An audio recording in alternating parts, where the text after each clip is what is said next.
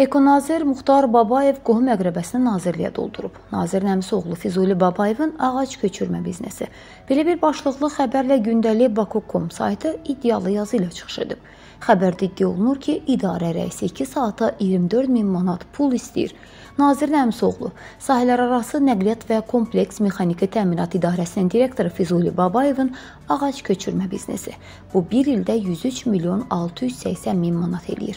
Tarixçi, Ekologiya naziri meşələrin, ağacların, sudakı balıqların qənimi Hüseynqulu Bağırov vəzifədən azad olunanda Azərbaycan təbiəti rahat nəfəs aldı.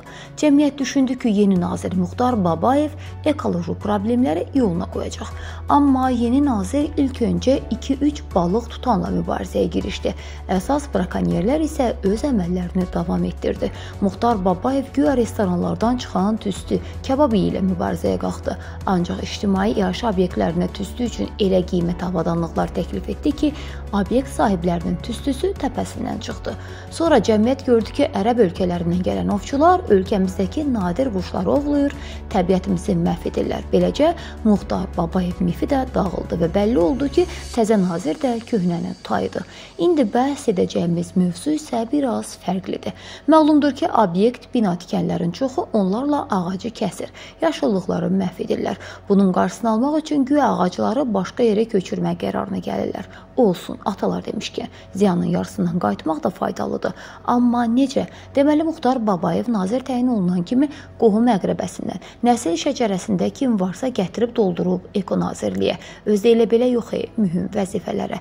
Belə vəzifə sahiblərindən biri də Azərbaycan Respublikası Ekologiya və Təbii Sərvətlər Nazirliyinin sahələrarası nəqliyyat və kompleks mexaniki təminat idarəsinin direktoru Füzuli Babayevdir. Məlumat üçün qeyd edək ki, Füzuli Babayev cənab naziri doğmaca əmisi oğludur. Babayevin kassiri, pul yığanı isə qohumu Flora xanımdır. Füzuli Babayevin işlərindən biri də ağacların bir yerdən başqa yerə köçürməkdir. Amma necə və ən əsası hansı qiymətə?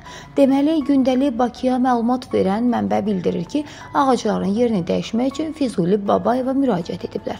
Füzuli Babayev bildirib ki, 2 saat ərzində ağacları lazım yerə köçürə bilərik, amma xərci 24 min manatdır. Pulu verin Flora xanıma, gəlib ağacları köçürək. Zuli Babayev onu da deyib ki, 24 saat işləyirlər. Boş vaxtımız yoxdur. Təsəvvür edirsiniz, 2 saata 24 min manat pul tələb olunur.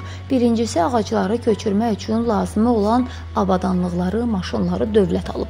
İkincisi 2 saata 24 min manat, deməli 1 saata 12 min manat. Bir günə, yəni 24 saata 288 min manat. 30 günə 8 milyon 640 min manat. Deməli, bir ildə 103 milyon 680 min manat vəsait eləyir. Bu az qala axırda bir dövlətin büdcəsidir. Bunu da vursaq Muxtar Babayevin nazir stajına az qala dövlətin büdcəsinin yarısı edir.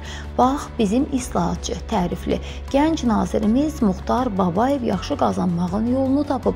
Yaxşı, ən vacib sual budur. Təkcə bir idarəsi milyonlar qazanan Ekologiya Nazirliyi dövlət büdcəsindən nə qədər pul köçürür?